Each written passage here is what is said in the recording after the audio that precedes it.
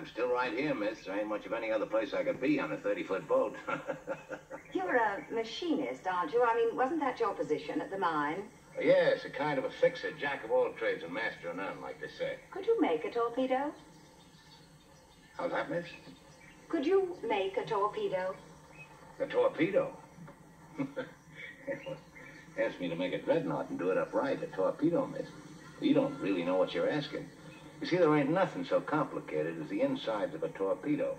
It's got gyroscopes, compressed air chambers, compensating cylinders. But all those things, those gyroscopes and things, they're only to make it go, aren't they? Yeah, yeah, go and hit what it's aimed at. Well, we've got the African Queen. Uh, how's that, miss? If we were to fill those cylinders with that blasting gelatine, and then fix them so that they would stick out over the end of the boat and then run the boat against the side of a ship, they would go off, just like a torpedo, wouldn't they?